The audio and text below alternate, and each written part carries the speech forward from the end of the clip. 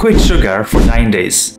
No desserts, no fruit juices, and no added sugar. Not even the so-called healthy ones that is hiding in those cereals and sauces. I have been guiding my patients for sugar detoxes for years, but doing it by myself as a doctor gave me a whole new understanding. The cravings, the brain fog, the energy crashes, and the surprising rebound at the end. Trust me, it was a roller coaster ride. In this video, I'm trying to break down exactly what I experienced over the past 9 days. While I do this, I'll try to explain why I experienced all these by trying to understand the changes that was happening in my body while I cut the sugar off. So this video is more or less an experience sharing, at the same time trying to understand why I experienced all those. Towards the end of this video, I'll give you special 5 tips that you can probably use to manage the ups and downs that you would experience if you plan to cut your sugar off. So make sure you watch the video till the end. Day 1 to day 3. I would call this the withdrawal and shock phase. Let me be very honest with you.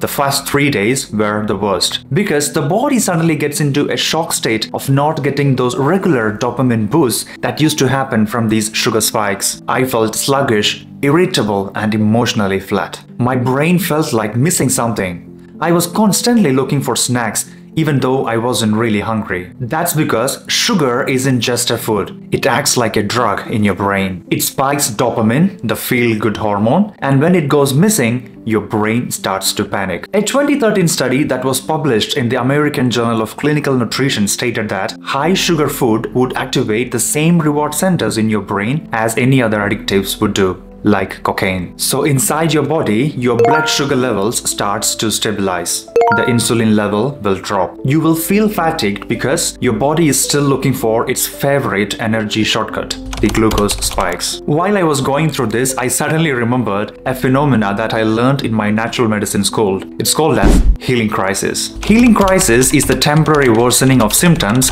when your body is detoxifying and recalibrating during the healing process. So what I experienced in the first three days, the headache, the irritability, and the strange fogginess, this was basically the healing crisis that was going on in my body. Have you ever tried cutting sugar? And what were your experiences in the first three days? Let me know in the comment section. I'm very curious to know if your experiences were similar to that of mine. Day 4 to day 6. I would call this the mental and metabolic reset. By day 4, the fog started to clear. I remember waking up with more focus and lesser cravings. My energy started spreading out more evenly throughout the day. No more 3 pm slump or post-lunch crashes. I even noticed that my digestion was getting better, less bloating, less discomfort. So what would be happening inside your body from day 4 to day 6 of your sugar cut? Your liver will start to produce more stable glucose through the process called as gluconeogenesis. Gluconeogenesis is the process through which your body is making sugar through the non-sugar substances like protein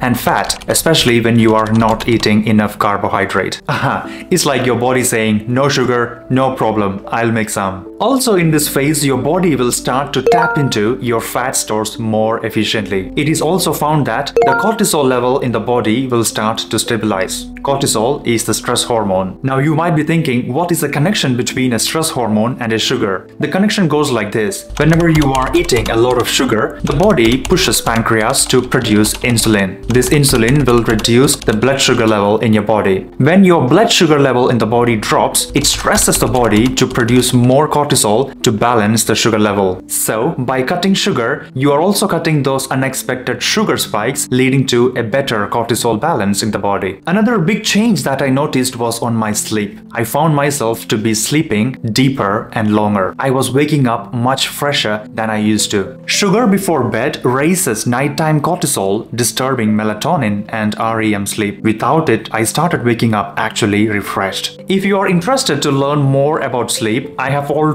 done a video in which I have debunked common 6 sleep myths. So if you're interested, go check that out here. Now, from day 7 to day 9, I would call this phase as outer glow and inner calm. This is when things got visible. I started noticing that my skin became more clearer with a subtle glow. And here, I felt like my hunger signals were more honest. I was eating when I was really hungry, not bored or anxious. And emotionally, I felt more calm and centered, not weird or reactive. My taste changed too. A simple apple incredibly started to feel extremely good Why this happened? Because when you are cutting sugar, your taste buds go onto a reset. Your gut microbiome resets too, from a sugar-loving bacteria to a more balanced ones. In the previous video, we have discussed about acid reflux. If you're interested to know more about acid reflux, go check that video out here. The point I'm trying to make here is the betterment of your gut microbiome that comes with cutting sugar not only benefits your acid reflux but also all the other gut related issues. A 2020 paper that was published in Nutrients stated that high sugar intake increased the chances of systemic inflammation worsening skin conditions such as acne and eczema. So by day 9 I wasn't missing sugar at all. I was actually enjoying the freedom from it. But here is the real purpose.